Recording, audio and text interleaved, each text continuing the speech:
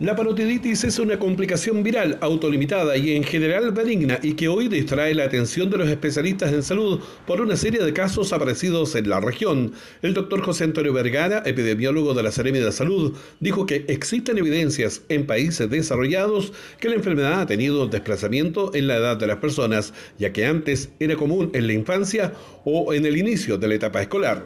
La enfermedad está afectando a personas jóvenes, adolescentes y adultos jóvenes. Eh, y con una frecuencia que en los últimos meses hemos notado, y particularmente en las últimas semanas, un aumento muy sostenido eh, de los casos, afectando a estas personas, a, personas entre 20 y 40 años sobre todo. La enfermedad se transmite a través de la saliva y secreciones nasales, por ello es recomendable toser o estornudar cubriéndose con el antebrazo. Toser de esta manera o estornudar de esta manera. La enfermedad eh, tiene un periodo más o menos largo de incubación, eh, alrededor de, dos semanas, entre 16 y 18 días. Y uno de los problemas es que la persona eh, en el periodo final de incubación, antes de que empiece con los síntomas, que son con cefalea, dolor de cabeza, un poco de fiebre, o fiebre en algunos casos puede ser alta, malestar general, y posteriormente hay aumento de volumen de la cara porque son las glándulas salivales que se llaman parótidas, las principales que las tenemos aquí, se inflaman. Entonces está este aspecto característico eh, que las personas tienen.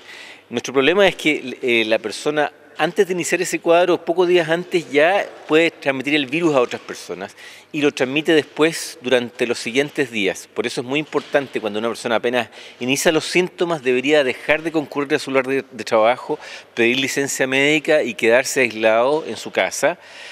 Eh, al menos por los, o sea, durante los siguientes siete días ha iniciado los síntomas.